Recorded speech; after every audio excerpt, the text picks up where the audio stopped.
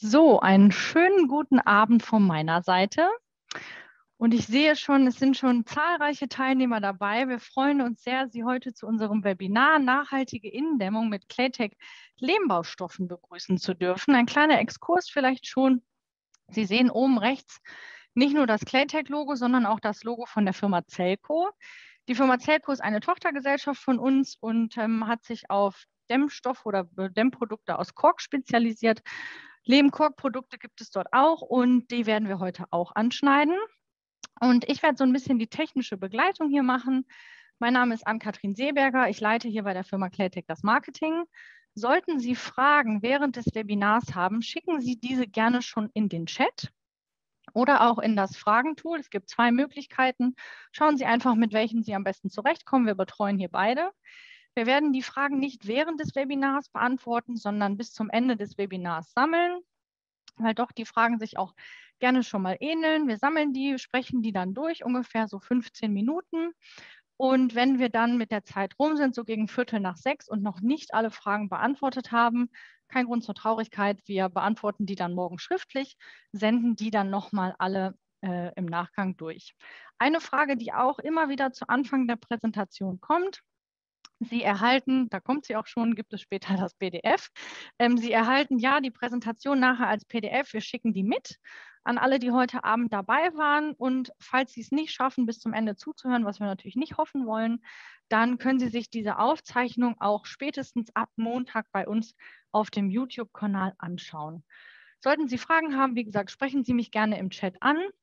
Und dann würde ich jetzt an dieser Stelle an meinen Kollegen, den Herrn Röhlen, übergeben und wünsche Ihnen ganz viel Spaß bei unserem Webinar. Ja, vielen Dank an Kathrin. Ich freue mich, äh, wieder auf Sendung zu sein äh, beim fünften oder sechsten Webinar. Ich weiß es nicht äh, genau, jedenfalls bei einem sehr, sehr gut äh, besuchten Webinar und möchte Ihnen also in der nächsten guten Stunde einen Eindruck vermitteln zu Innendämmung mit Claytech Lehmbaustoffen dazu, ein bisschen ausholen, wie wir überhaupt dazu gekommen sind und äh, einige Grundlagen dieser Innendämmung, dann die unterschiedlichen äh, Techniken vorstellen, auch so ein paar Sachen rechts und links beleuchten, die so ein bisschen ins Technische gehen, die öfters nachgefragt werden. Ja, und natürlich auch unsere Produkte vorstellen, die dann äh, dazu äh, verwendet werden und eine Rolle spielen. Ähm, die erste Frage, äh, die man sich äh, vielleicht stellt, na, so. Ähm, wie wir überhaupt dazu gekommen sind, uns bei Claytech mit dem Thema Innendämmungen äh, zu befassen. Denn wir produzieren ja Baustoffe aus Lehm für das ökologische Bauen, für die Fachwerksanierung und so weiter. Also wieso eigentlich dieses Spezialgebiet Innendämmung? Das ist ganz einfach, man hat uns danach gefragt. Also in der Zeit, als wir noch als Handwerksunternehmen unterwegs gewesen sind, äh, bundesweit mit vielen Fachwerksanierungen, da stand natürlich die Frage auch immer im Raum, okay, jetzt habe ich ausgebracht und der Außenputz ist da und die Innenwände werden verputzt, aber was wird denn jetzt mit der Außenwand eigentlich gemacht? Und eine 14 Zentimeter dicke Außenwand war auch zu Beginn unseres Unternehmens in den äh, 80er Jahren äh, schon nicht mehr das Nonplusultra einer Dämmung. Wir haben dann also angefangen, zunächst mit Lehmputzen einfach zu arbeiten. Dann sind wir dazu gekommen, Schilfrohr aufzukleben, ähm, halt als äh, smarte Dämmung. Wir haben zwischendurch Leichtlehm eingestampft äh, nach dem Verfahren von äh, Frank Vollert. Das hatte sich aber dann doch als relativ aufwendig erwiesen. Also mit dem Schilfrohr hatte man auch sehr gute Ergebnisse. Ähm, der Nachteil beim Schilfrohr ein wunderbarer Naturbaustoff, aber man kann schlecht einen äh, Feuchteschutznachweis machen. Also sind wir übergegangen zu Holzweichfaserplatten, haben aber auch unsere Leichtlehmtechniken weiterentwickelt und haben so mittlerweile ein Portfolio von Techniken, äh, wo wir auch mit der Firma Celco jetzt einen besonderen Spezialanbieter noch mit im Haus haben und äh, haben das Thema vor allen Dingen für das immer etwas problematische Thema Sichtfachwerk, glaube ich, mittlerweile sehr gut abgerundet äh, und im Griff. Ähm, hinweisen möchte ich darauf, dass der Stroh-Lehmputz, der von innen, also an die Außen, Innenseite der Außenwände, über Ausfachung und Balken geputzt wurde, schon früh eine sehr einfache energetische Verbesserungsmaßnahme darstellte. Also die vielleicht so ab der Neuzeit 1450 äh, ab oder bis 1600 vielleicht so langsam praktiziert wurde. Äh, vorher war es üblich, dass man die Balken auch von innen sichtbar hatte und da pfiff natürlich der Wind durch die Fuge zwischen Holz und Balken. Und das war schon ein großer Komfortfortschritt für eine gewisse Winddichtigkeit im Haus zu sorgen. Das Holz hat es nicht so gern, das trocknet dann natürlich nicht mehr ganz so gut aus wie vorher, aber für den Komfort im Haus war das schon eine große Maßnahme, äh, eine tolle Maßnahme ab dem Barock.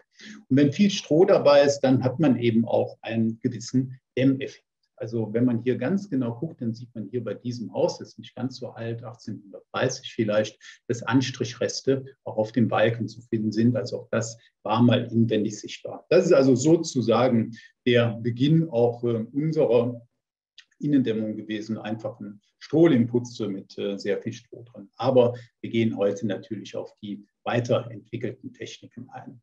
Und wir gehen immer von der Prämisse aus, dass wir das Haus nicht außen dämmen können. Ja, also dass wir es mit irgendeiner Art von Kulturwerterhalt, ähm, Aufgabe zu tun haben. Ähm, es hat große Vorteile, das Haus außen zu dämmen. Es hat aber auch große Vorteile, das Haus innen zu dämmen. Äh, in der Regel haben wir es hier aber nicht mit Neubauten zu tun, ähm, wo das Außendämmen über die gesamte Gebäudehülle dann noch vielleicht ein bisschen einfacher ist, sondern mit historischen Gebäuden, mit Baudenkmälern, mit erhaltenswerter Bausubstanz, wo man also die Fassade in jedem Fall erhalten möchte und deswegen die dämmenden Schichten auf der Innenseite anordnet. Die Gründe für die Innendämmung, ich sagte gerade schon, die Außendämmung hat Vorteile, die Innendämmung hat sie aber auch. Das eine ist, wie gesagt, der Kulturwerterhalt. Und ich habe hier mal Fachwerkhäuser und Ziegelbauten äh, hingeschrieben, weil es äh, für gleiche, beides für gleichermaßen gilt. Ähm, aber äh, die Fachwerkhäuser sind immer die hohe Kunst, äh, die hohe Schule der Innendämmung, äh, weil ich da noch zusätzlich die Schlagregenproblematik habe. Also alles, was Sie ähm, in, den folgenden, in der folgenden Stunde äh, hören, gilt auch für Ziegelbauten oder für andere Bauten, äh, die von außen erhalten werden sollten. Also das ist immer der einfachere Fall. Aber ich gehe deswegen immer vom Worst Case aus sozusagen vom Fachwerk. Wir haben die solaren Einträge äh, in die massive Außenwand. Wir dämmen die nicht weg, wie man so sagt, äh, was die Wand auch immer selbst im Winter so ein bisschen wärmer hält. Und äh, deswegen ist der Energiestrom durch die äh, innengedämmte Wand äh, meistens viel geringer, wenn man den misst, als wenn man den rechnet, weil eben diese solaren Einträge gar nicht ähm, äh, in den Berechnungen auftauchen. Aber wenn Sie zum Beispiel eine Backsteinfassade, ein Backsteinhaus sehen, ich sitze jetzt im Moment hier in einem und da scheint auch im Januar die Wintersonne drauf, dann ist diese Fläche auch schon recht warm und äh, das hat einen sehr, sehr großen Einfluss auf den Wärmedurchgang. Das zweite ist die Wirtschaftlichkeit. Äh, man hat keine Gerüstkosten, man hat keine schwierigen Anschlüsse an Traufe und Ortgang, sondern ähm, halt hat nur die normalen, den normalen Aufwand, den man auch bei sonstigen Renovierungsarbeiten hätte.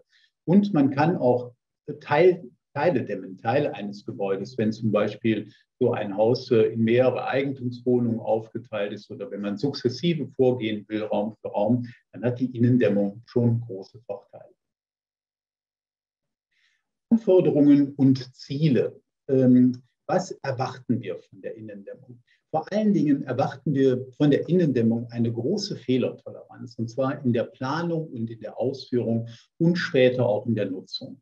Es gibt also Innendämmungen, die, ich greife etwas vor, ein sehr schlechtes Feuchtemanagement haben, die nur funktionieren, wenn man die akribisch abklebt, wenn da wirklich kein Luftspalt mehr ist oder sonst was. Und das ist nach unserer Erfahrung nicht besonders äh, ja, äh, lebenspraktisch, baustellenpraktisch. Also es muss eine gewisse Fehlertoleranz da sein und zwar auf allen Ebenen. Der Planer muss sich mal etwas äh, mit der Schätzung des Bestandes getäuscht haben können. Äh, der Handwerker, die Handwerkerin muss sich ähm, auch bei der Ausführung, da kann mal was passieren dürfen. Und ähm, auch wenn der Nutzer besonders gerne lange duscht, dann darf das nicht zu Problemen führen. Also die Fehlertoleranz ist ein ganz, ganz wesentlicher Aspekt. Und dann wollen wir natürlich, wir sind ja auf der Innenseite, ein Maximum an Dämmung erreichen bei einem Minimum an Raumverlust.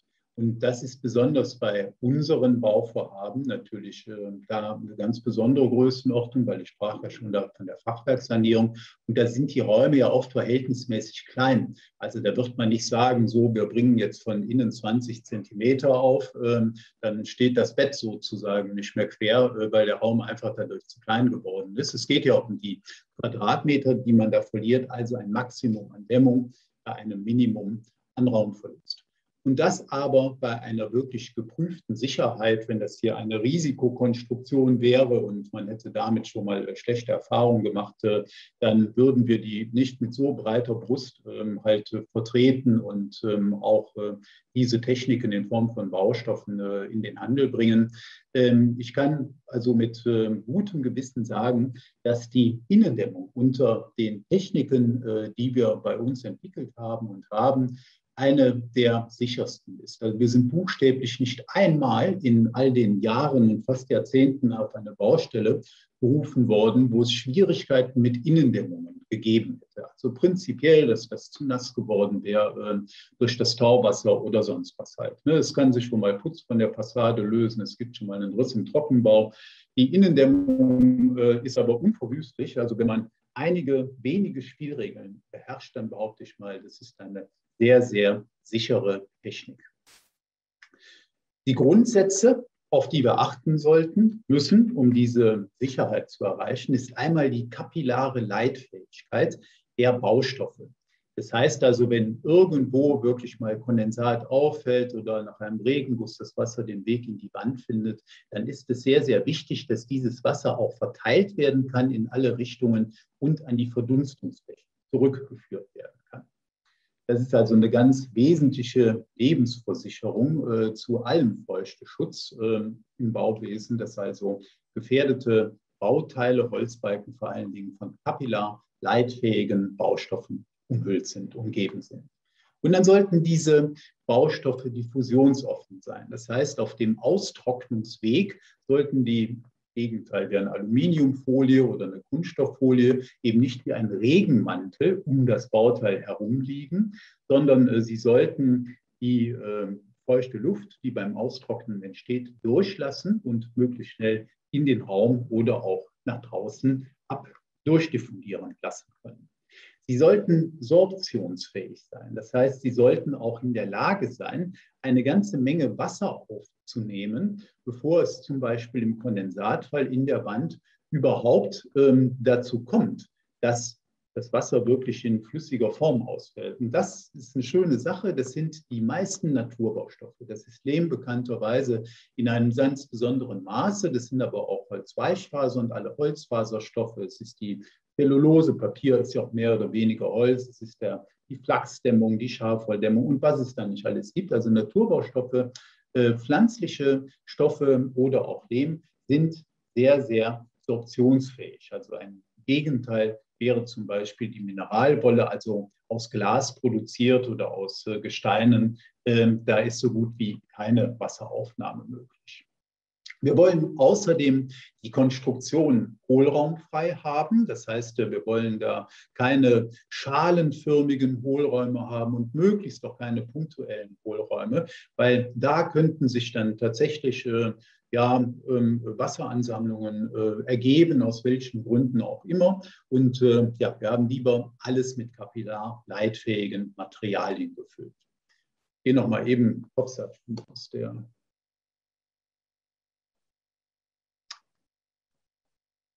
aus der Präsentation geflogen. Äh, zum Hohlraumfreien gehört auch, dass die einzelnen Schichten kontaktschlüssig aneinander gelegt sein sollen, ja, also sein müssen.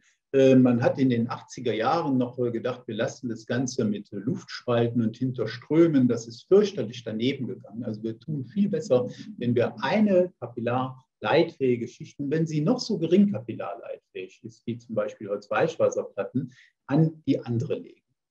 Und eine besonders schöne Sache bei unseren Techniken ist auch ihre Verformungstoleranz. Ja, also das äh, Fachwerkhaus gerade nach einer Sanierung, da bewegen sich die Balken immer so etwas.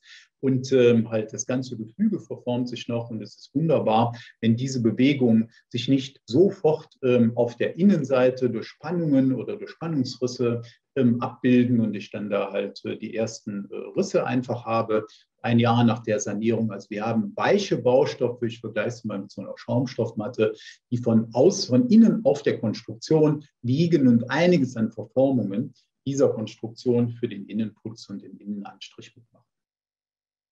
So, das waren genug der Vorbemerkungen. Äh, wir wollen konkret werden. Ich will Ihnen die drei Techniken der Innendämmung, äh, die wir haben, vorstellen ähm, und dabei gleich ein paar erläuternde Worte sagen. Also das Wichtigste, mit dem wir es zu tun haben, sind die angemörtelten Holzfaserdämmplatten. Man sieht es also hier, dass äh, Platten in ein Klebebett äh, verlegt werden, dann nochmal mit zwei Dübeln pro Platte fixiert werden. Ähm, das ist nicht, damit die nicht von der Wand fallen, das würde die Klebung schon verhindern, aber damit ich wirklich sicherstelle, dass sie in dieses Klebebett gepresst werden, gezogen werden, um eben diesen Kontaktschluss und dieses Hohlraumfeil zu ermöglichen. Und nach innen wird es dann in der Regel dünnlagig verputzt.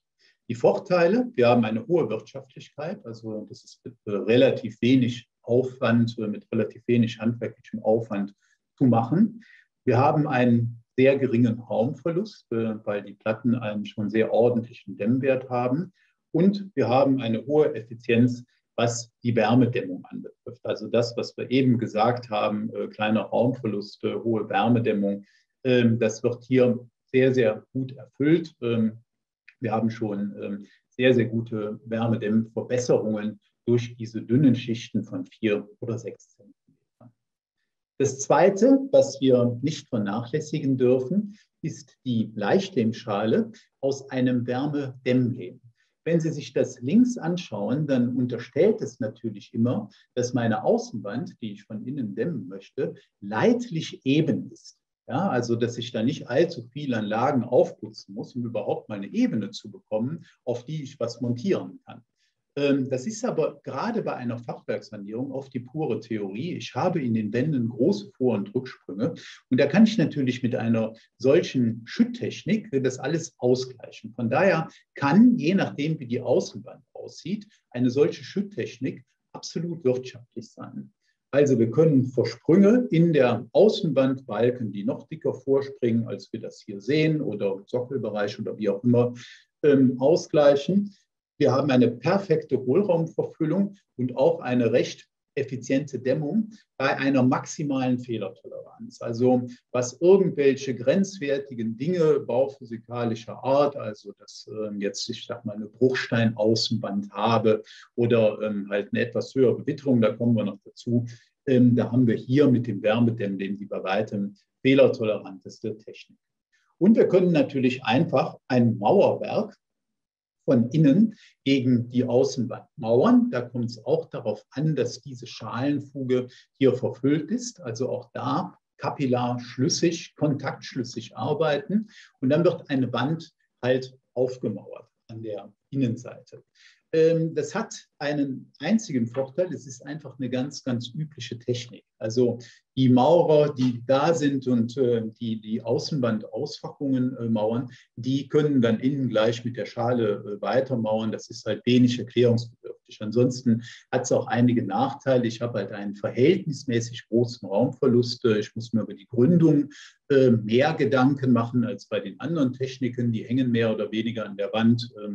Ähm, ja, vor allen Dingen die Platte wird ja nur aufgeklebt. Und ähm, ich habe einen, äh, gemessen am Raumverlust äh, verhältnismäßig geringe Verbesserung des Dämmwertes. Ist aber auch durchaus eine private Technik. Wir haben auch Steine dafür und das wird absolut auch gemacht, weil es ebenso im Zuge des Mauerwerkbaus. So, wir wollen zurückgehen zu der angemörtelten Dämmplatte ein paar Vorbereitungen äh, zu der Technik, die auch zu allen anderen Techniken mehr oder weniger übertragbar sind. Zunächst mal muss ich mir die feuchte Belastung des Fußpunktes anschauen. Wenn das wirklich nass ist, wenn der Putz da von der Wand gefallen ist und das offensichtlich schon mehrmals und man hat Bitumen gestrichen und das ist auch wieder abgeblättert und so weiter, dann muss man da etwas machen. Man muss also eine Horizontalsperre einführen, also dass man das trennt nach unten hin per Bohrlochsperre oder Blech oder was weiß ich, dass kein Wasser mehr aufsteigt. Eine vertikale Sperre von außen zum Beispiel, das ist ja meistens der Fall, da kommt es gar nicht von unten, sondern von außen im erdberührten Bereich, dass ich das also abdichte. Oder wenn ich das alles nicht kann, was bei Bruchsteinen der Fall sein kann, dann muss ich zum Beispiel in diesem Bereich eine kapillarleitfähige Platte, eine Mineralschaumplatte oder eine Calciumsilikatplatte vorsehen, die nicht aus organischen Baustoffen besteht und die mit der Feuchte nochmal wesentlich über äh, längere Zeiträume und mit größeren Mengen zurechtkommt. Der absolute, die Ultima Ratio ist das Aufkleben einer Schaumglasplatte, die lässt dann die Feuchtigkeit einfach draußen, sperrt das ab nach innen. Die sollte aber immer ein Stück über den aktuellen Feuchtehorizont geführt werden, weil der sich durch die Maßnahme meistens erhöht. Mit der Feuchtebelastung geht meistens die Salzbelastung einher. Das hat man vor allen Dingen oft in alten Stallgebäuden. Ähm, das sieht man an Ausblühungen ähm, und so weiter. Und das Salz, das hat äh, die üble Eigenschaft, dass sie seine eigene Durchfeuchtung hygroskopisch äh, produziert und äh, dann das Volumen vergrößert und sprengt. Also da kann man auch äh, mal eine Untersuchung machen lassen. Das kostet unter, unter 100 Euro, ob man das also mit äh, äh, bauschädlichen Salzen zu tun hat. Das geht, wie gesagt, oft einher. Ähm, und da muss das entsalzen werden, also auch gesperrt und entsalzen. Das geht wunderbar mit Lehmopferputzen. So heißt das, wenn man den Lehm draufputzt und dann nimmt das Salz auf und dann kann man den wieder runternehmen. Ähm, das führt uns aber jetzt zu sehr ins Detail. Also ein Blick auf den Fußpunkt sollte bei Innendämmung auf jeden Fall gelegt werden. Aber es ist auch hier eine gewisse Fehlertoleranz da. Wenn man also sagt, ach, das ist trocken und dann war es doch nicht ganz trocken, dann machen die Techniken das schon auch mit. Sperrende Lagen werden entfernt, also alles, was den Dampfstrom äh, behindern könnte, Fliesen, Ölanstriche, dichte Tapeten und so weiter. Das muss weg. Alles, was auf den Namen Kalk oder Lehm hört, das kann aber gerne da bleiben. Das ist fusionsoffen.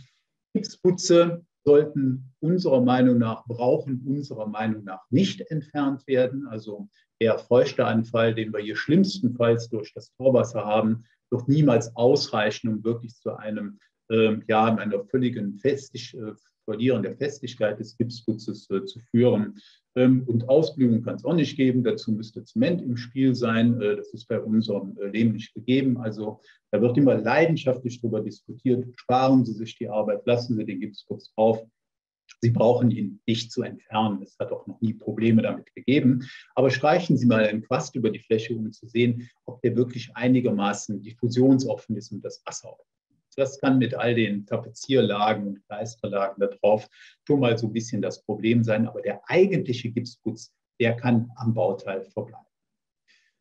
So, dann das Produkt, äh, das ist die Playtech ähm, Holzfaserdämmplatte, äh, verformungstolerant, wie gesagt, gutes Feuchtemanagement und diffusionsoffen. Das sind kleine Platten, sehr andlich für eben diese Aufgaben, die wir hier zu bearbeiten haben in der Denkmalpflege, sind ja kleine Flächen und in 40, 60 und 80 Millimeter verfügbar mit Nut und Feder. Ein ganz wichtiges Produkt dazu der Lehmklebe- und Armierungsmörtel. Ähm, hier in diesen beiden Rollen. Äh, wir sehen das äh, beim mittleren Bild und äh, beim rechten Bild. Beim mittleren Bild die Klebung, beim rechten Bild die Armierung. Also damit wird die Innendämmplatte an die Wand geklebt und ähm, damit wird auch die Armierungslage dann auf die Innendämmplatte gemacht. So, wie wird das auf eingebaut? Zunächst mal Ausgleichsschichten von mehr als 10 Millimeter müssen austrocknen können. Also man darf da keine Feuchte einsperren. Bis 10 Millimeter kann man direkt kleben. Wenn es mehr ist, austrocknen lassen, äh, die Auffütterungsschicht und dann mit dem Lehmkleber, mit dem Zahnspachtel aufkleben ja, die Platten mit dem Klebe- und Armierungsmittel ansetzen, den wir gerade gesehen haben.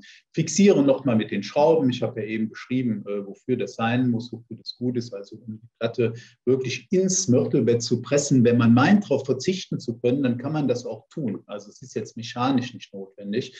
Äh, viele Dämmplattenhersteller sagen das auch. Also uns ist das immer lieber, weil es könnte sich auch während des Machen so ein bisschen ausbeulen äh, und solche Dinge halt Aber man muss das nicht unbedingt mit, dem Schraube, äh, mit den Schrauben oder mit den äh, Dübeln machen. Wir haben aber sehr gute Erfahrungen damit gemacht. Das trägt zur Sicherheit bei.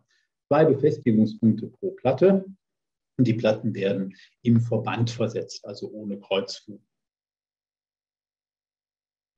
So, hier ein paar Bilder dazu. Es wird also mit dem Achter Zahnspachtel aufgetragen auf die Rückseite.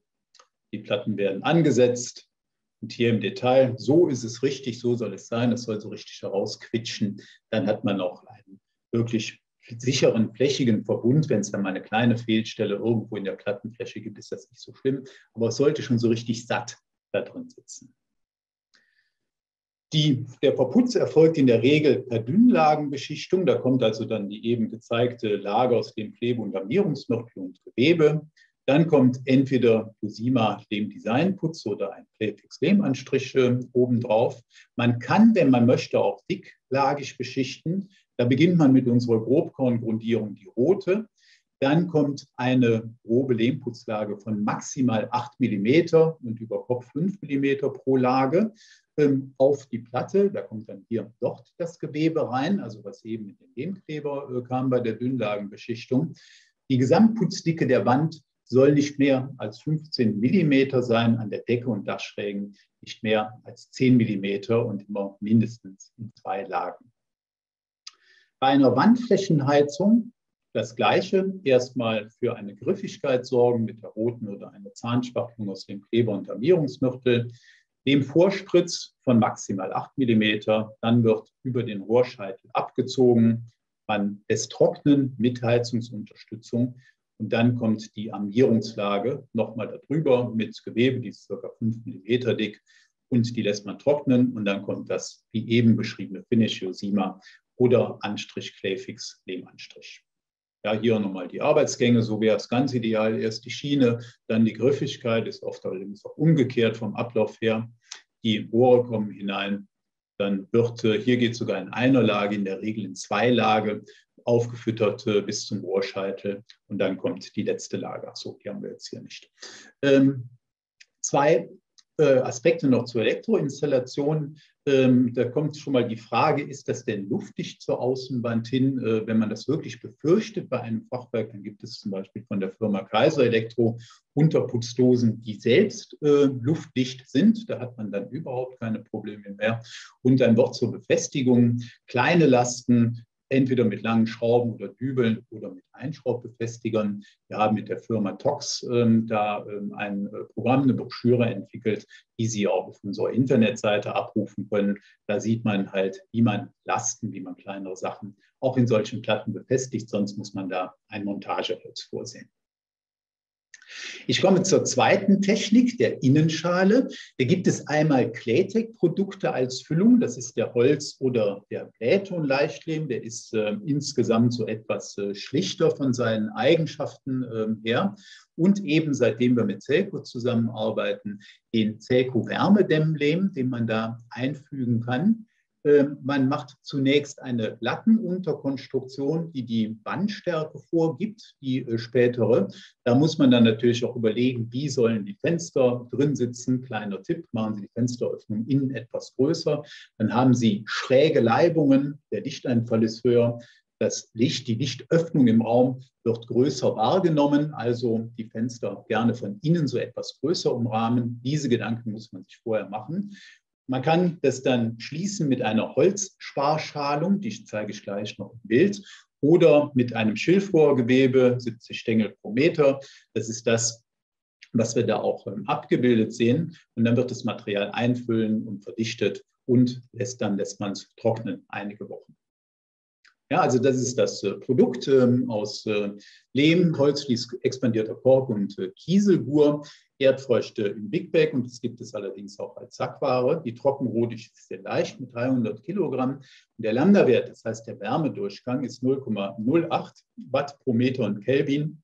Und das ist für ein solches Schüttmaterial was dazu auch noch eine feste Schale bildet, ein wirklich ganz beachtlicher Wert. Ähm, wir haben bei den anderen Leichtlehmen 0,17, also ungefähr um das Doppelte schlechter. Und bei den Dämmplatten, bei den Holzfaserdämmplatten, was ja wirklich schon richtige Dämmstoffe sind, da haben wir 0,04. Also es ist äh, absolut äh, beachtlich, dass man mit der nur doppelten Dicke einer regelrechten Dämmung aus Holzweichfaser oder aus Mineralwolle, woraus auch immer, äh, damit so einer Schütttechnik schon den gleichen Effekt erzielt. Also vor dem Hintergrund wenig Raumverlust. Hier ein paar Bilder aus der Ausführung. Äh, man sieht die Verlattung, weil das Material eben effektiver ist. Es ist wesentlich kleiner als in meinem eben gezeigten äh, Beispiel, äh, als in der eben gezeigten Skizze. Das ist jetzt diese Sparschalung, die wird immer auf Abstand gesetzt, kann man auch mit Dachlatten, damit dazwischen noch gut ähm, halt das Material austrocknen kann. Und dann wird es eingefüllt und so weit verdichtet, dass alle Hohlräume gefüllt sind. Das muss nicht richtig verstampft werden, aber so weit verdichtet, dass keine Hohlräume mehr verbleiben. So sieht es dann während der Trocknung aus oder alternativ eben mit dem Schilfrohr. So, und die vierte, äh, die dritte Technik, die Mauerwerk-Innenschale. Wie gesagt, man muss sich vor allen Dingen in den oberen Geschossen was zur Gründung überlegen, ob man da Querholz über den Deckenbalken legt oder eine Wand dübelt oder wie auch immer. Auch hier darf die Schalenfuge nicht zu groß vermörtelt werden. Also es sollte nicht mehr als 10 mm nasses Material eingefüllt werden. Äh, es trocknet sonst einfach zu lange. Also der feuchte Angriff so während der äh, Bauzeit, der ist dann äh, zu groß. Also alles, was über 10 Millimeter ist, beiputzen und trocknen lassen. Und dann wird die Schalenfülle Schuhe satt mit dem aufgehenden Mauerwerk verfüllt. Und damit einem die Steine, damit einem das Verfüllen äh, halt gelingt und damit die Steine halt sich nicht herausdrücken, werden die ab und an fixiert äh, während des Aufmauerns, zum Beispiel mit einem Montagelochband, äh, was an der Außenwand befestigt wird. So circa fünf Befestigungspunkte pro Quadratmeter. Das ist so ähnlich, wie man das auch außen bei äh, Klinkerschalen beispielsweise macht. Ne? Also man muss die während des Verfüllens äh, fixieren. Äh, die brauchen nicht Edelstahl äh, äh, falls, zu sein, die Materiallochbänder weil selbst wenn die irgendwann mal rosten würden, das ist nur während der Bauzeit eine Fixierung. Ja, das die Produkte. Der Lehmstein 2DF mit einer Rohdichte von 700 Kilogramm pro Quadratkubikmeter äh, ist also der leichteste Stein, den wir haben. Leichter kann man es auch herstellen oder wir haben es nochmal etwas äh, hochpreisiger als Lehmstein NF in einem kleineren Format, ähm, äh, Normalformat äh, mit einer Rohdichte von 800 Kilogramm. Das wäre hier das Mittel der Wahl. Der 1200 Kilogramm ist eigentlich der Stein, der außen im Fachwerk eingesetzt wird. Unvermauert wird es mit unserem Lehmmauermörtel leicht, den es Erdfrost und Bigback gibt, oder auch als Sackware, der von seiner Rohdichte her den Steinen schon so ein Stück nahe kommt ähm, und damit einigermaßen ähnliche Eigenschaften hat. Deswegen ist er auch mit Leichtzuschlägen versehen. So, wichtige Einzelaspekte. Dazu kurz einen Schluck Wasser. Ich will, ähm, nachdem wir jetzt die Techniken äh, vorgestellt haben äh, und schon eine ganze Menge gesehen haben, wie es denn geht, auf so ein paar einzelne Aspekte eingehen, die immer wieder diskutiert werden. Äh, es soll keine bauphysikalische Vorlesung werden, aber ich will es ähm, ganz kurz beleuchten, was immer bei der Innendämmung äh, halt äh, besprochen wird.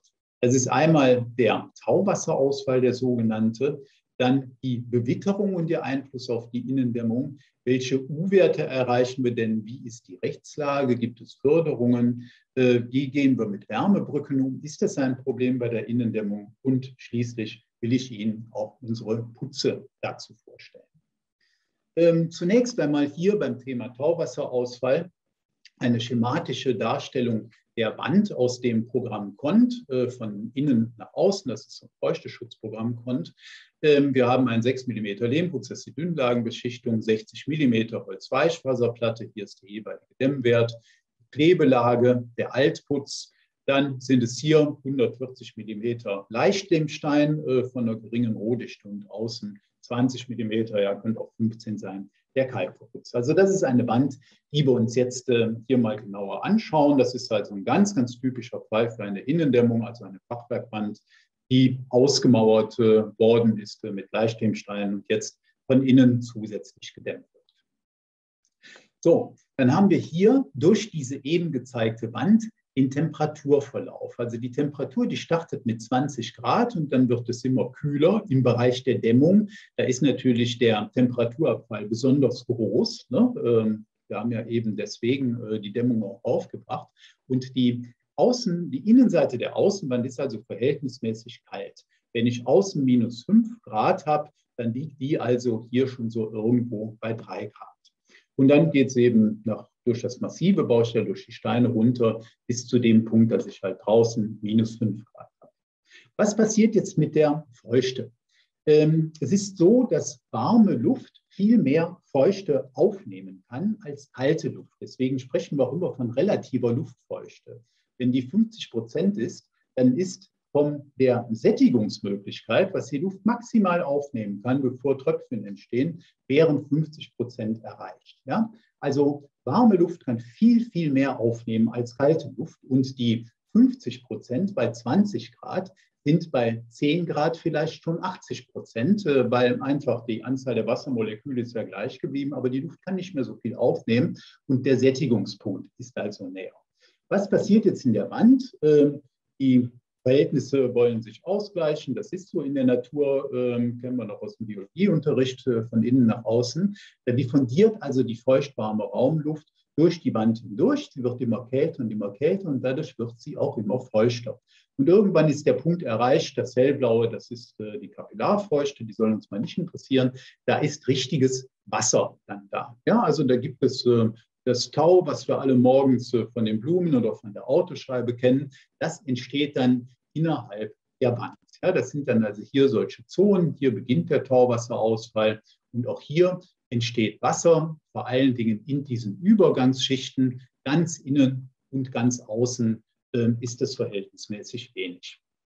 So, jetzt kann man vielleicht denken, um Gottes Willen, da entsteht mehr Wasser in der Wand, aber das ist überhaupt nicht schlimm und bei vielen Konstruktionen auch ein ganzes Stück weit normal.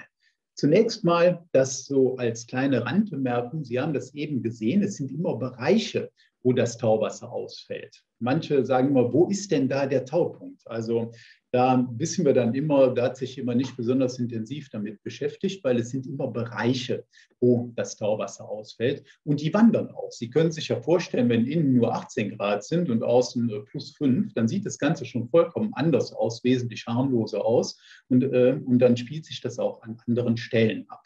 Also das verändert sich dauernd und wir haben sehr geringe Mengen an Wasser, die dabei ausfallen. Und die sind auch zulässig, die sind auch nach DIN zulässig und so weiter. Und äh, wenn die jetzt überhaupt ausfallen, weil in den Berechnungen sind so Sachen wie die Sorption der Baustoffe gar nicht äh, mit drin oder die kapillare Rückleitung, ähm, selbst wenn die vorkommen, dann sind das immer noch sehr, sehr geringe Mengen, über die wir uns kaum Sorgen machen müssen, wenn wir diese Spielregeln einhalten, die ich genannt habe und die Dämmung so machen, so in der Dimension, wie wir es auch in unserem Arbeitsblatt empfehlen. Naturbaustoffe haben ein besonders gutes Feuchtemanagement, was man von anderen Materialien, äh, wie zum Beispiel Schaumkunststoffen oder auch äh, Glaswolle, äh, nicht behaupten kann. Und wir haben ein Problem, das wir uns viel genauer anschauen sollten, nämlich das Problem der Starkregenbeanspruchung. Also in einer Wand sind ungefähr 80 Prozent der Feuchtigkeit entsteht durch den Regen und nur 20 Prozent im Worst Case durch diesen Tauwasserausfall im Bauteil. Jetzt könnte man sagen, was hat das denn eigentlich äh, mit der Innendämmung zu tun? Sie müssen sich vorstellen, wenn Sie eine Innendämmung machen, dann wird die Fassade weniger durchheizt. Sie profitiert weniger von der Raumheizung. Und deswegen steht die Fassade auch nach einem Regen länger nass. Ja, also ein Gebäude, was 200 Jahre gestanden hat, weil es nach einem Regen immer nur sechs Stunden äh, halt äh, feucht war, das Fachwerk, das ist jetzt vielleicht nach dem Regen plötzlich 18 oder 24 Stunden feucht. Und das hat natürlich eine Auswirkung und die ist viel, viel wichtiger als, das, ähm, äh, als der Tauwasserausfall, was da entstehen kann, das Kondensat, das sind meistens sehr, sehr geringe Mengen, die, ich sage mal salopp, gerade bei kapillarfähigen Baustoffen irgendwo bleiben. Und die Innendämmung ist natürlich auch immer ein bisschen ein Trocknungshemmnis zum Raum hin. Ja, also die Fassade trocknet ja immer in zwei Richten. Also ganz wichtig, auf die Beregnung zu schauen. Außen gucken, innen dämmen, salopp gesagt, äh, das ist eine viel größere Lebensversicherung als äh, ich weiß nicht welche Berechnungen über einzelne Gramm Wasser. da anzustellen. Ähm, kommen wir mal kurz zur Bewitterung. Eigentlich äh, wird von der WTA, der Wissenschaftlich-Technischen Arbeitsgemeinschaft für Bauwerkshalt und Denkmalpflege, empfohlen, ähm, dass man Sichtfachwerk nur in den Regionen der Starkregenbeanspruchungsgruppe 1 machen soll. Also da, wo es nicht viel regnet, ganz salopp gesagt. Das Deutsche Institut für Bautechnik, das DEBT, das sieht man, sieht das auch so. Und das sind dann auch die Bereiche, wo die Innendämmung eigentlich ungesehen eingesetzt werden kann. Die DIN 4108, die hat dann die Deutschlandkarte in so Bereiche geteilt und dieser tolle Beanspruchungsgruppe 1 Bereich, wo es nur 140 Liter pro Quadratmeter mehr auf die Fassade regnet, das sind hier diese hellen Bereiche, also in Brandenburg und Sachsen-Anhalt und vielleicht noch hier so südlich von Frankfurt. Wenn wir jetzt darüber eine Karte legen der deutschen Sichtfachwerklandschaft, dann stellen wir fest, die ganzen Fachwerkhäuser stehen überall in Gegenden, wo die gar nicht stehen dürfen. Also in Brandenburg, da wo wir eben gesehen haben, da stehen kaum welche.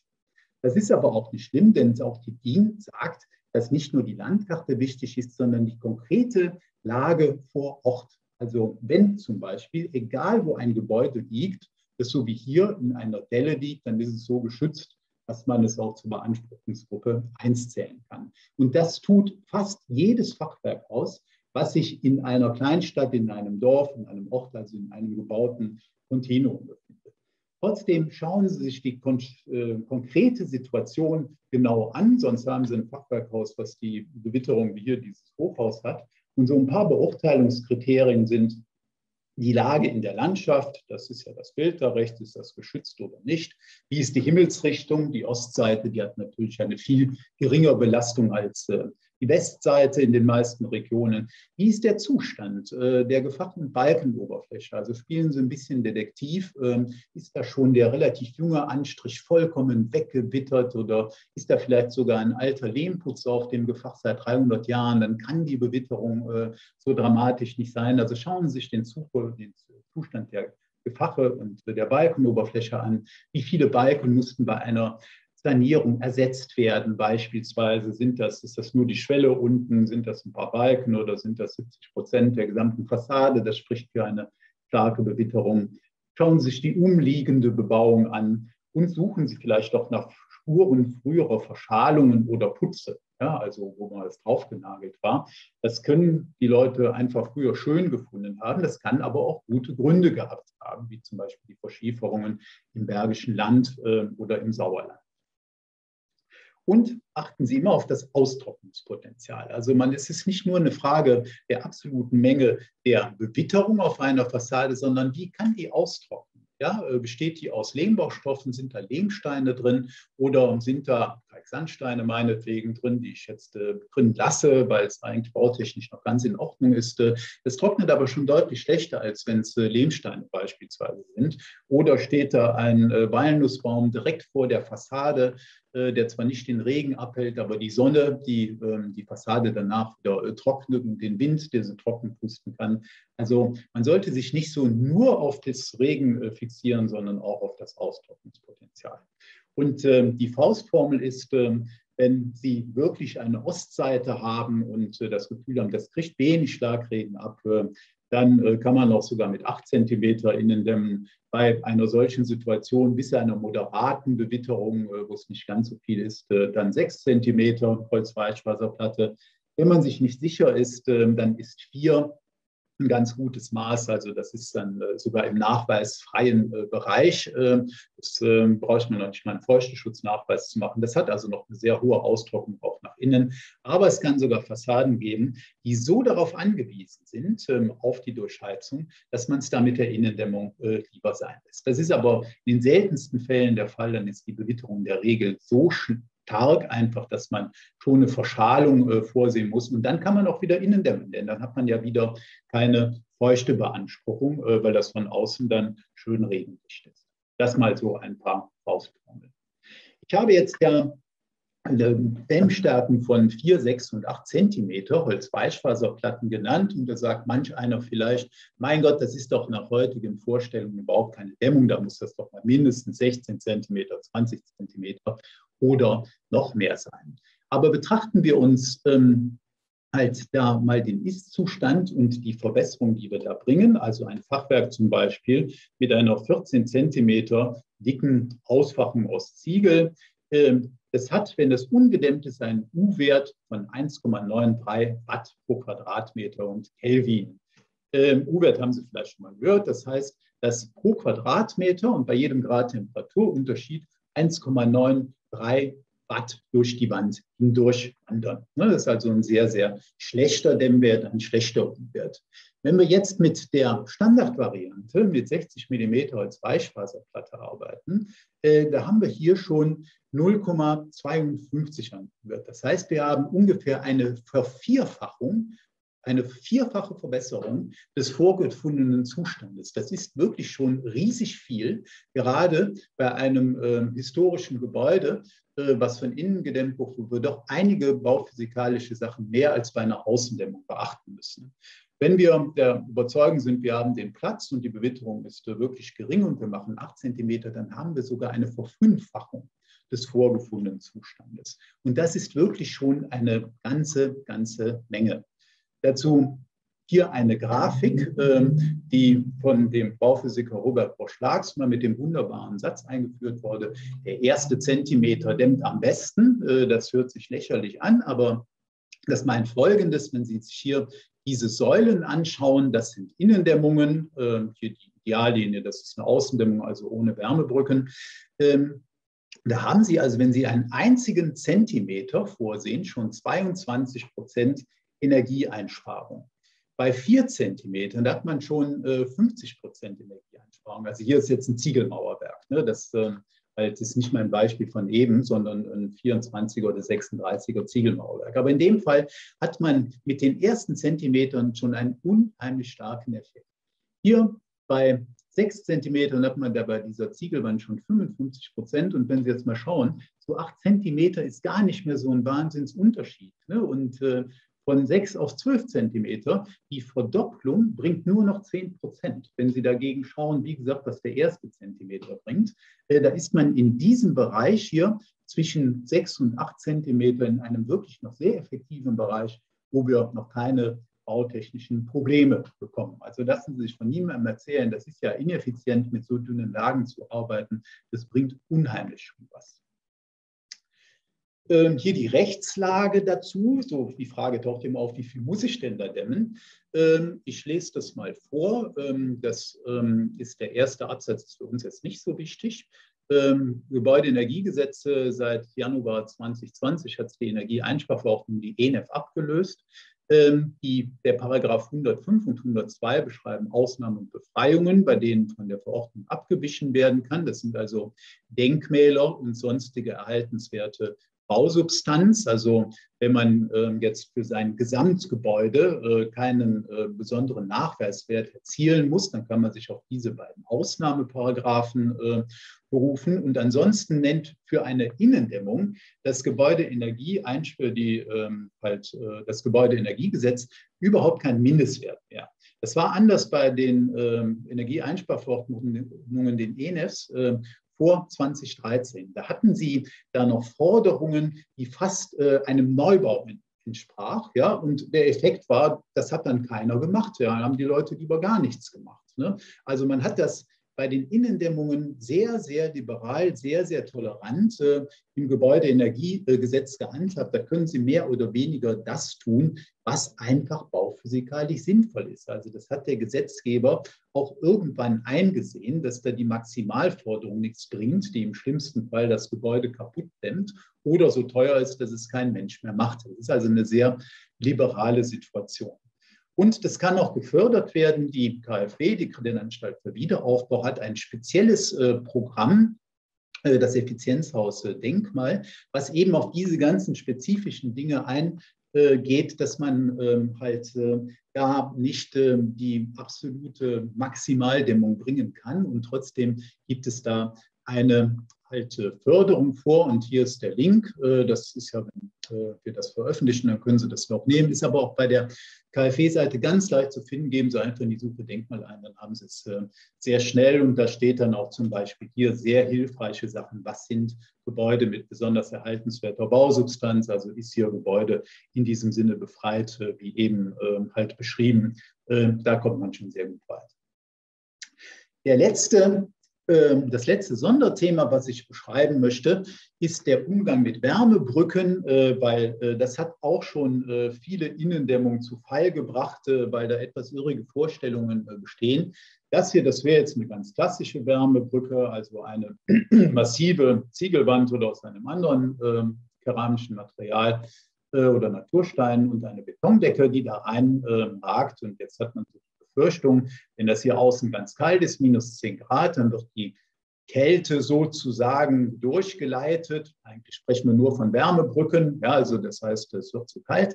Dann da und hier könnte Schimmel entstehen. Und nicht nur hier an der Außenwand, sondern es wird durch diese schweren, massiven Bauteile, die die Wärme sehr gut leiten oder die Kälte weitergeleitet. Und dann hat man hier so problematische Zonen.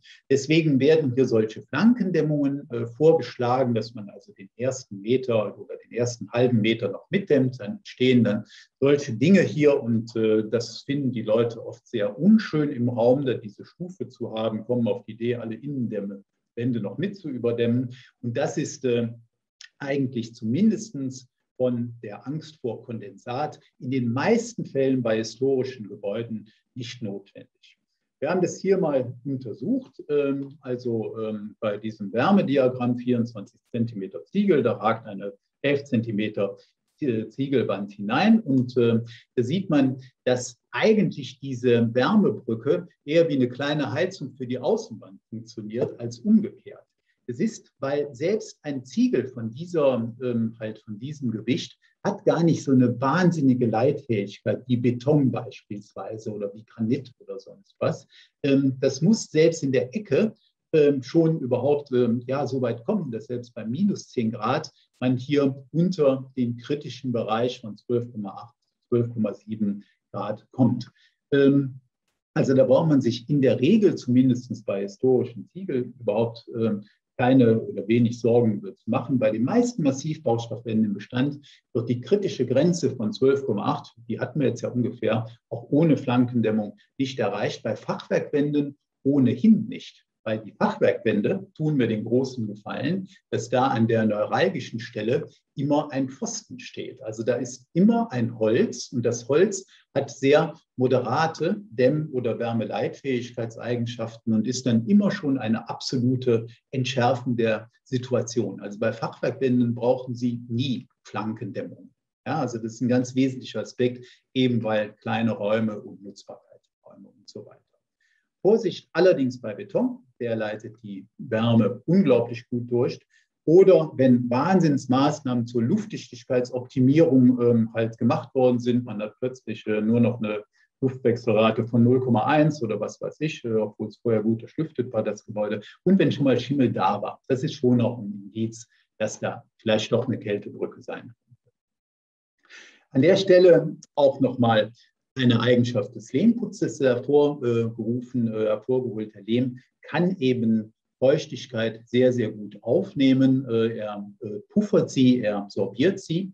Und wenn Sie sich das hier mal anschauen, wenn diese Wand hier, also dieser Eckbereich, das wäre jetzt eine typische thermische Wärmebrücke, wie man sagt, also so eine Ecke, die auskühlen könnte, ähm, wenn die hier wirklich mal kalt wird, auf der Innenseite. Und äh, wir haben da wirklich mal 80 Prozent relative Luftfeuchtigkeit. Und man würde sagen, na, jetzt kann es ja anfangen zu schimmeln.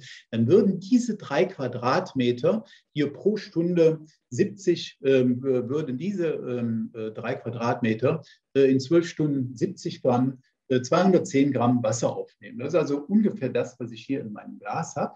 Ähm, und zwar nehmen die das am Wasserdampf auf. Das ist eine unglaubliche Menge. Das ist also ungefähr die Hälfte des Wasserdampfes, der überhaupt im Raum ist.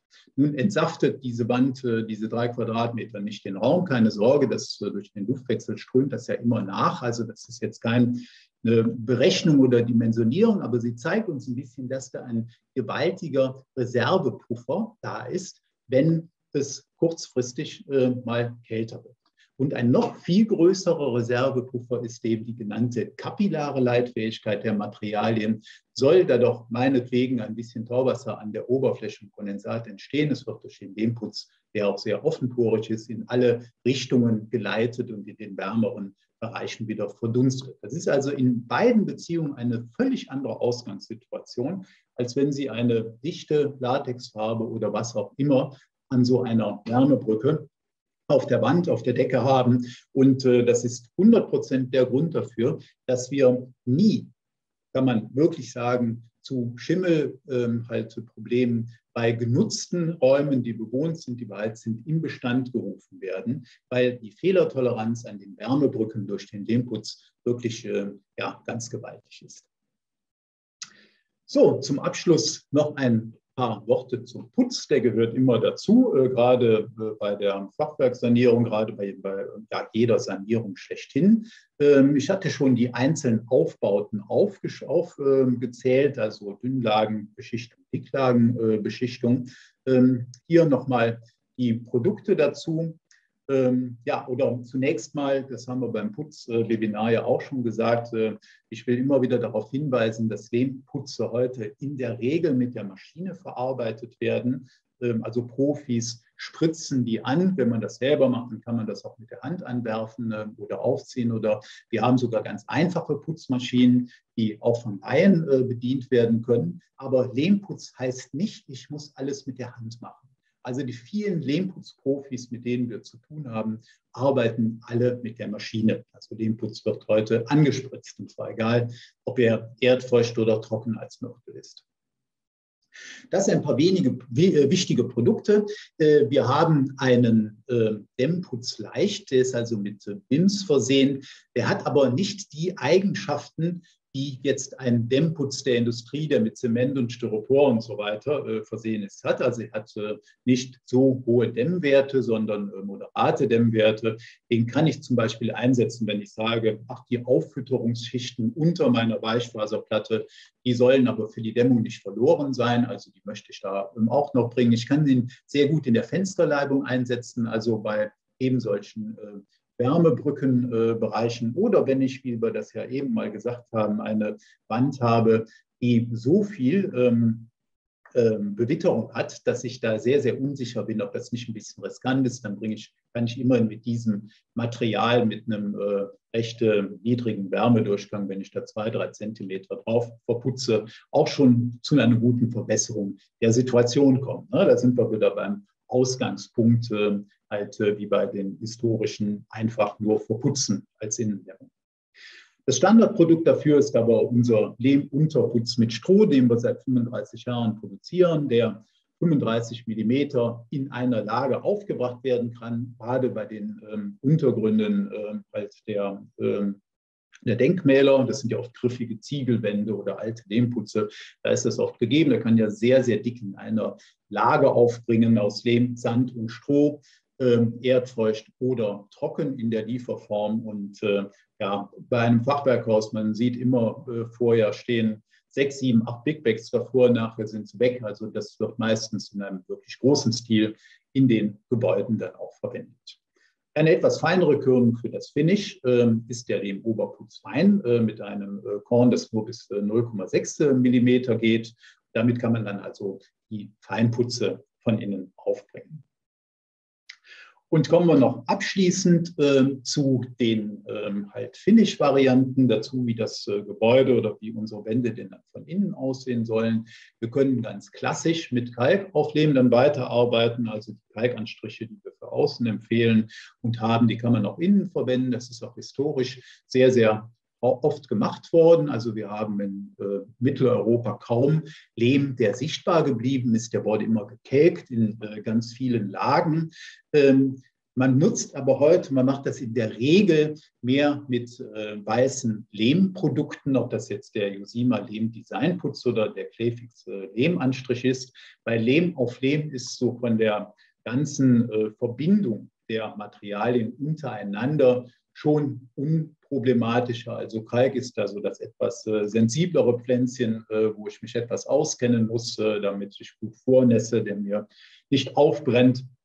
oder was da so passieren kann. Also Lehmdesignputz oder Lehmanstrich, die sind da schon wesentlich fehlertoleranter. Also da kann eigentlich überhaupt nichts passieren. Ein Blick hier auf die weißen Lehm-Designputze. Die sind also aus einem sehr hellen, aus einem weißen äh, Lehm gemacht, äh, dem Kaolin, äh, was man auch Porzellanerde nennt, nach dem chinesischen Werk Kaoling, ähm, als der Kinder der, der Geburtsstube, der Wiege äh, der Porzellanindustrie äh, der Welt. Ähm, das sind also diese ganz, ganz hellen Tonerden und wir produzieren daraus neun verschiedene Weißtöne, ähm, wobei wir durch die Zugabe farbiger Tone in einer ganz, ganz geringen Menge dann so einen leichten Schimmer in eine bestimmte Farbrichtung damit erzielen. Aber die Ränder sind einfach der ganz helle, der weiße, der WE0, äh, der reinweiße, dann Altweiß als Farbton, das etwas gebrochen ist, ins Gräuliche geht, oder das mit Peter Zumthor für das Columba Museum in Köln entwickelte Columba Grau. Alle diese Farbtöne ergeben so ein ganz, ganz zurückhaltendes, so eine ganz zurückhaltende Anmutung und haben trotzdem eine sehr, sehr große Lichtausbeute im Raum, was ja bei Baudenkmälern, insbesondere bei Fachwerkhäusern mit relativ kleinen Fensteranteilen, schon noch eine große Rolle spielt. Also das ist das, was bei weitem am meisten gemacht wird. Ja, hier nochmal der Hinweis auf das Columba Grau.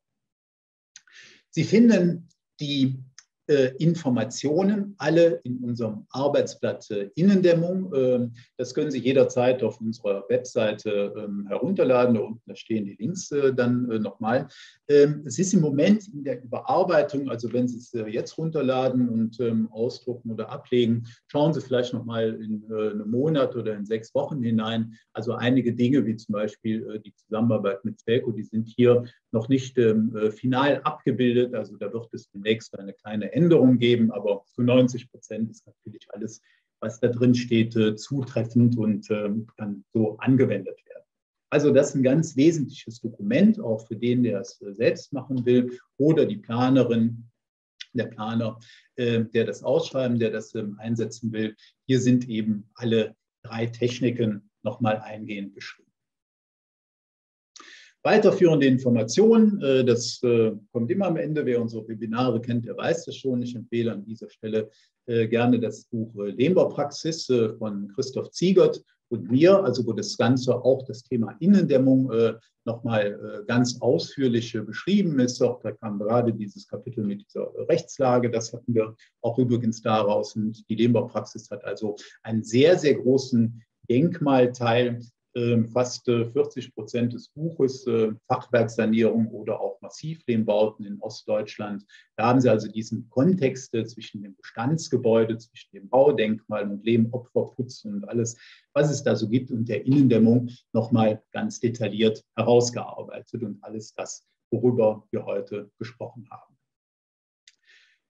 Ja, wenn Sie dann weiterkommen möchten und einen Handwerker suchen, der Ihnen die Innendämmung ausführt oder einen Händler suchen, bei dem Sie die Materialien kaufen können, dann gehen Sie auf die Händler- und Handwerkersuche unserer Seite, Händlersuche, Partnersuche auf der österreichischen Webseite.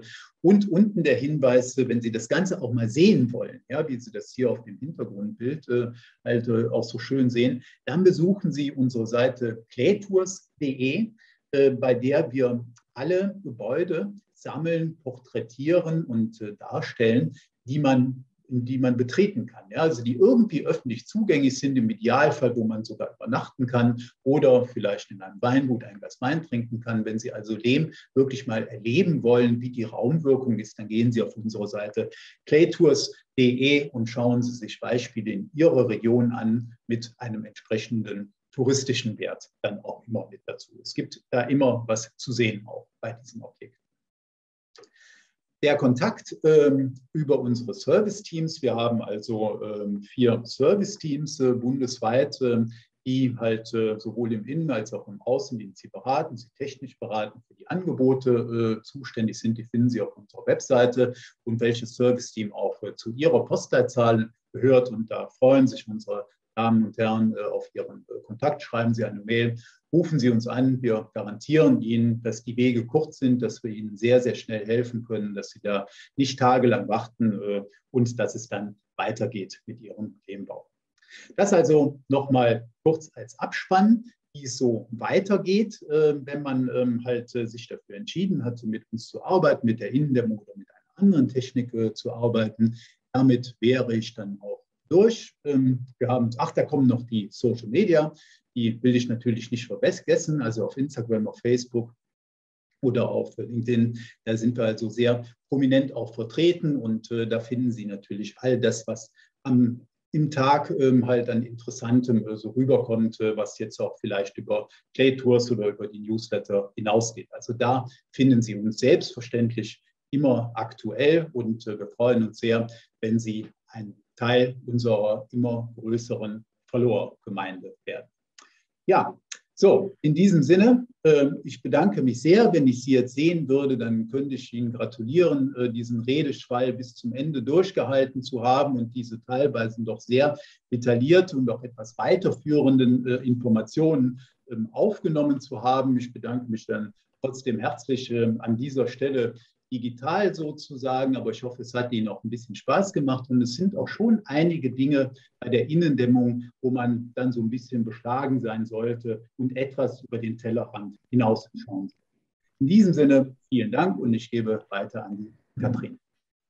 Genau, vielen Dank auch von meiner Seite. Und äh, ich lese hier viel spannendes Feedback, dass es wieder ein toller Vortrag war, dem kann ich mich nur anschließen. Ich muss jetzt vorab sagen, wir werden es nicht schaffen, alle Fragen zu beantworten. Wir haben über 30 gesammelt ähm, während des Webinars. Ich werde jetzt einfach mal ein paar rauspicken. Es sind viele auch wieder dazugekommen, die jetzt nicht unbedingt mit der Innendämmung zusammenhängen, sondern auch da geht es um unsere Verpackungseinheiten, um die Trocknungszeiten vom Lehm. Ähm, die ziehen wir jetzt an dieser Stelle raus, aber wie gesagt, wir beantworten sie alle.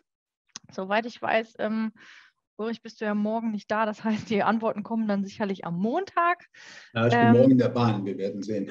Ah, ja, genau. Also wir geben unser Bestes. Spätestens am Montag ähm, haben Sie alle Ihre, Ihre Antworten. Falls das bis dahin dann, also falls Sie die Antworten früher brauchen, kontaktieren Sie uns gerne auf den Wegen, die wir gerade vorgestellt haben.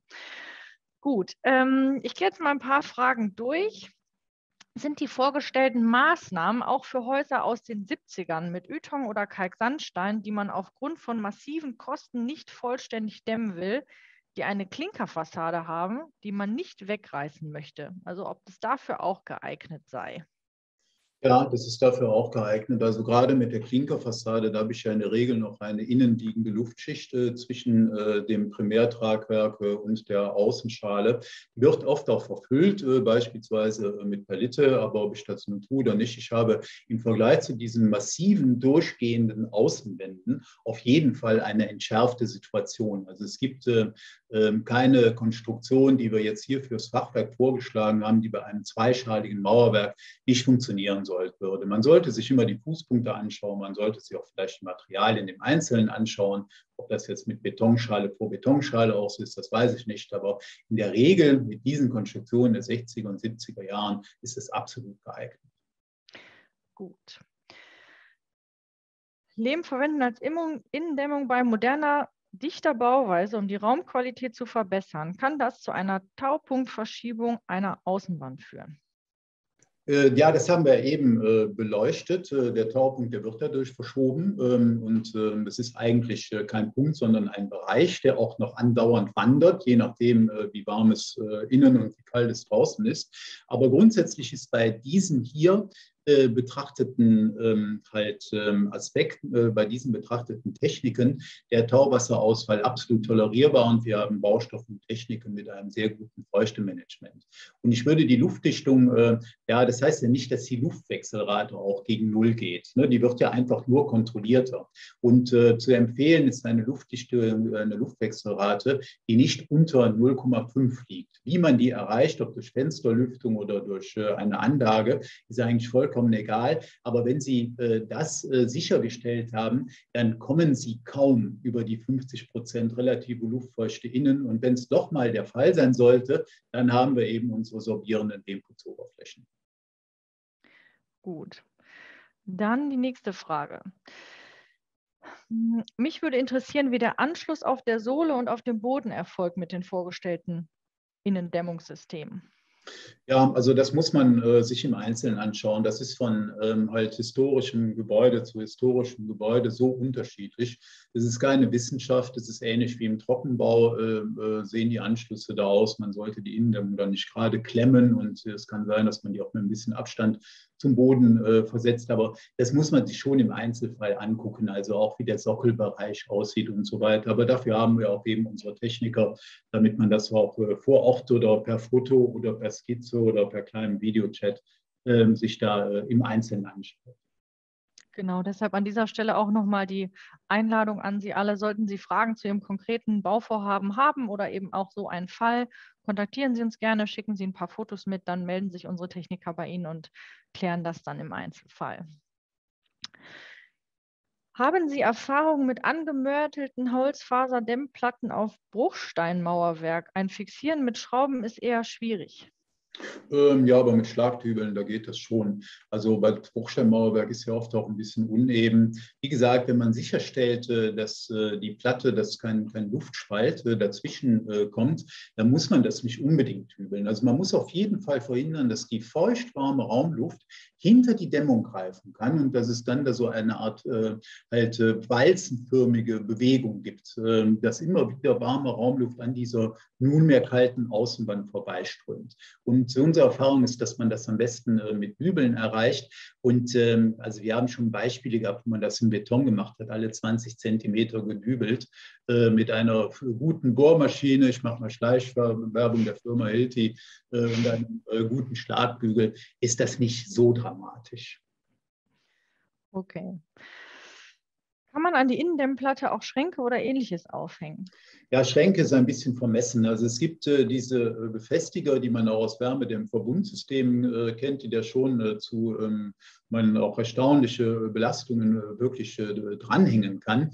Aber ich würde es auf einige Kilogramm beschränken. Also ähm, die ähm, Schrank, der, da muss man schon von 50 Kilo pro laufenden Meter ausgehen.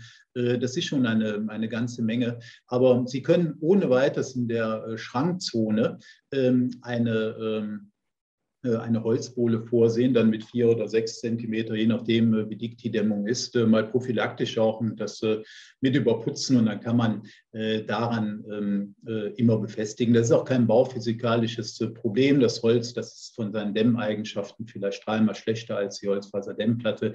Das also noch weit davon entfernt, dass da jetzt ein Wahnsinnswärmeleiter eingebaut worden, eingebaut wäre.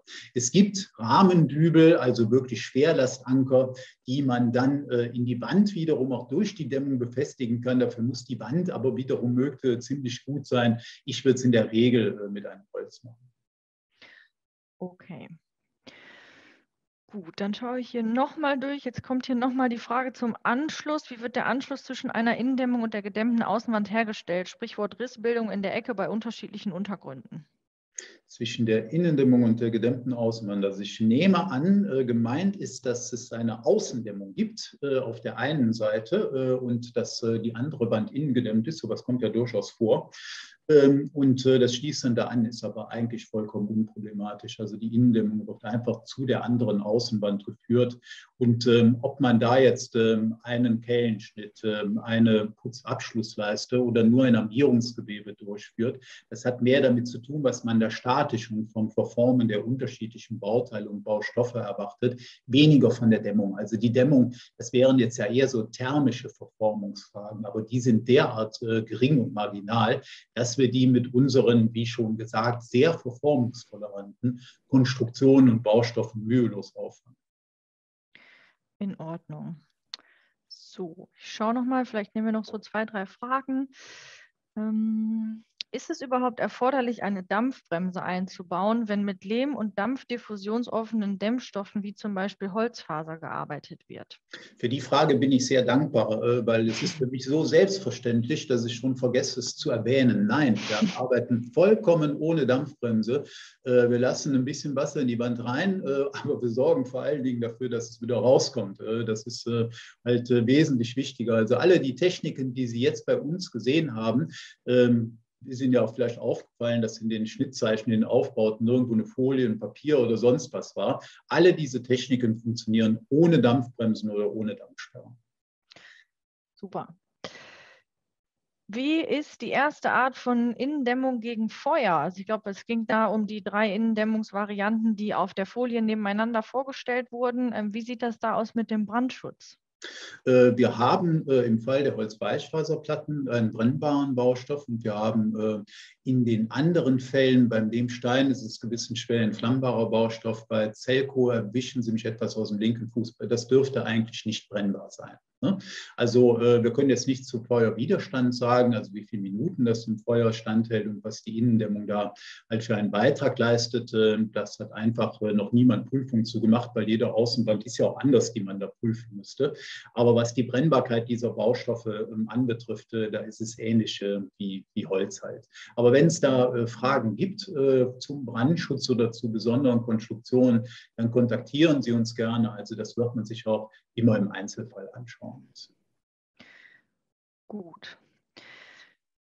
Dann also ich glaube, so viele Fragen hatten wir während des Webinars noch nie. Heißt, ja, das, das Thema scheint sehr interessant zu sein. Es sind auch sehr viele technische Fragen, wo ich glaube, da ist vielleicht auch eine individuelle Beratung sicherlich notwendig. Aber wie gesagt, wir beantworten alle Fragen, aber laden Sie auch gern herzlich ein, ähm, direkt mit uns ins Gespräch zu kommen. Wenn ich eine geschwungene Stampflehmwand mit 10 cm Holz-Weichfaser dämmen soll, wie gehe ich denn da am besten vor? Oh, das ist aber eine besondere äh, Frage. ähm, man kann die Holz-Weichfaserplatte, also das hängt natürlich sehr vom Biegeradius der Wand, aber ich nehme an, auch wegen der Schalung und so weiter, dass der Radius jetzt nicht allzu eng ist, dass also diese Wölbung verhältnismäßig gering ist. Äh, da kann ich im Prinzip äh, mit der äh, Kreissäge Entlastungsschnitte ähm, einsehen, da wo ich die Platte stauchen will und äh, dann schneide ich sie bis zur Hälfte, bis zum Drittel ein, probiere das ein bisschen aus, wie viele Schnitte ich brauche, damit diese Stauchung jetzt äh, keine Luftschlitze hinterlässt, sondern äh, nicht zu viel ist, einigermaßen geschlossen wird, es andererseits aber keine zu großen Spannungen gibt und äh, dann äh, funktioniert das schon. Also ich bin sogar überzeugt, dass bei einem sehr, sehr weiten Radius man vielleicht überhaupt keine Entlastungsschnitte auf der Rückseite machen muss, sondern die Platte einfach draufbringen kann. Gut. So, dann ziehe ich noch eine Frage raus, die auch immer viele Leute interessiert. Können Sie etwas zum groben Quadratmeterpreis als Kalkulationsgrundlage für die vorgestellten Innendämmungen sagen? Ja, leider allerdings nicht aus der, äh, der Menge. Also da müsste ich selber in das Buch, in unser Buch äh, Lehmerpraxis äh, schauen. Ich habe es nicht im Kopf. Also da ist es aber alles nebeneinander gestellt. Ähm, halt, äh, was kosten diese Arten von Dämmung, wenn ich sie vergleiche mit einer ähm, ja, Dämmung mit äh, Gipskarton und äh, Dampfbremse und ähm, halt Mineralwolle, die wir aber auch äh, sowieso halt in diesem Kontext nicht wollen. Aber man muss natürlich ungefähr wissen, äh, wie da die Preise sind, wie da die sogenannten Hausnummern sind. Aber gerade in der Denkmalpflege mit den kleinen Flächen, mit der äh, unterschiedlichen Erreichbarkeit, mit den unterschiedlichen Anschlussdetails möchte ich dieses Thema allgemein doch auf die Fachberatung im Einzelfall äh, dann verweisen. Also wir bekommen, Sie bekommen von uns sicherlich Hinweise, mit welchen Kosten Sie ungefähr für Ihr Objekt zu rechnen haben. Okay, dann nehmen wir das für morgen für den Fragenkatalog auch nochmal mit auf.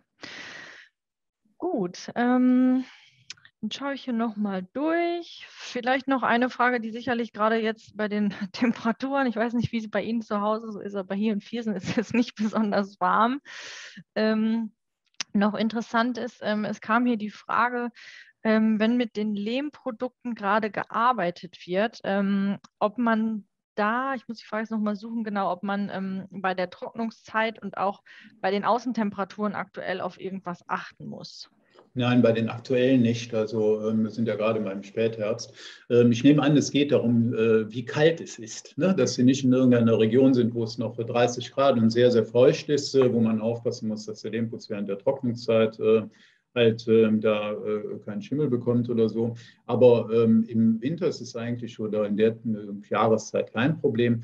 Ähm, bei diesen Temperaturen überhaupt nicht. Äh, wirklich, da braucht man überhaupt nicht zu denken. Grundsätzlich sollte es während der Verarbeitung äh, wie für alle Putze äh, auf der Baustelle selbst und während der Trocknung nicht viel kälter als 5 Grad sein. Also ein gewisser Korridor äh, zum Gefrierpunkt, der sollte schon da sein. Weil sonst das Material wirklich kaputt äh, frieren kann. Das ist sogar ein historisches Aufbereitungsverfahren gewesen. Und wenn Sie im Winter sehr schnell trocknen wollen, dann tun Sie gut daran, wenn Sie die Baustelle leicht heizen. Also da reichen schon 10 Grad mit irgendwo dem alten Elektroradiator oder sowas und gleichzeitig für einen moderaten Luftwechsel sorgen. Denn äh, wie eben schon beschrieben, die kalte Außenluft ist sehr, sehr trocken. Wenn man die aufheizt, dann geht es ja den umgekehrten Weg des eben beschriebenen und sie kann ganz, ganz viel Wasser aufnehmen, was man dann auf diesem Weg herauslüften kann. Also Winterbaustellen, wenn man die etwas heizt und gut lüftet, trocknen viel schneller als Sommerbaustellen. Ja, also es darf nicht gerade frieren und äh, beherzigen Sie, dass die Trockenfläche auf diesem Weg ein bisschen unterstützen. Dann ist das überhaupt kein Problem. Gut, ich denke, das war ein guter Abschluss. Also wir haben, glaube ich, so 40 Prozent der Fragen jetzt geschafft. Die anderen kann ich nur noch mal sagen, die kommen noch.